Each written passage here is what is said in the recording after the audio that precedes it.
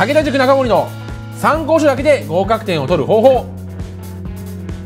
はい、それでは今回は、えー駒澤大学の政治経済の勉強について話していきたいと思います。政治経済ですが、時間60分で大問が4題、えー出題されております。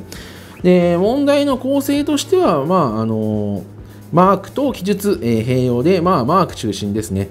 で、えーまあ、正誤判定なり、正しい用語を答えたり、えーっていうような問題が中心ですが、えーなのであの、用語だけ覚えてっていうよりは、問題演習をしっかりやっておかないと点が取りづらい問題かとは思います。なので、そのセンター試験の道などですね、などを使って、その問題に解き慣れておくことが、えーまず重要かと思います。参考書のレベルとしては、日大レベル終わっていれば十分対応は、えーできますので、それプラス、あの要はインプットだけで終わりにせず、問題集を最低、まあ、例えばマーク式基礎問題集なり、先ほど言ったようなセンター試験の道なり、えーなどですね、といった参考書で、えー一通り問題演習して、本当に知識入ったかなっていう確認をすると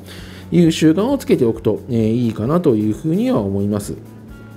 で、あのー正しいものを選べって問題と誤っているものを選べって問題がそれぞれ出てきますので間違えて正しいものを、え選ぶときに誤っているものを選んだりとかっていうように問題文の読み違いなどにも注意していきましょう。えーで、まあ、聞かれている知識そのものはそんなに、えーマニアックなものとか出るわけではなく基礎知識があれば十分対応できますのでただ覚えて終わりじゃなくてそれを使って解けるようにするっていう意識を持って学習するように心がけてください。以上が、えー政治経済の勉強となります。